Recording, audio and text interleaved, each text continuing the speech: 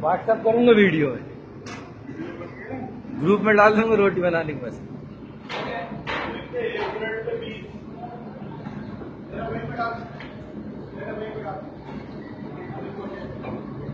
मेरा व्हाट्सएप अभी बंद है।